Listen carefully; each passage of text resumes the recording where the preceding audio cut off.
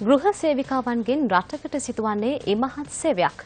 නමුත් ගෘහ සේවයෙන් පීඩා විඳි 57 හැවිරිදි කාන්තාවක් පිළිබඳව නිවුස් ෆස්ට් සිදු කළ අනාවරණයක් මේ.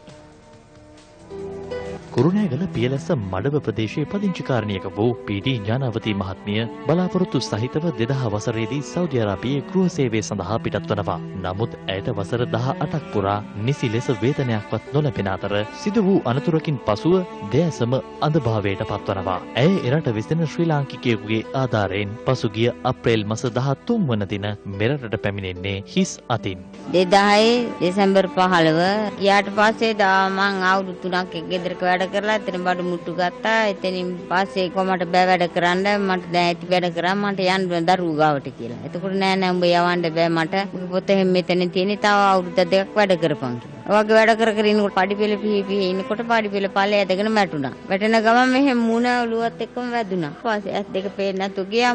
අම්මගෙන් ඇහුවා අපි විස්තරේ කොහොමද ආවේ කියලා ගණකුව ලංකාවේ කෙනෙකුත් හිටියා. එයා තමයි ඔක්කොම ගොඩක් දුරට උදව් කෙරුවේ.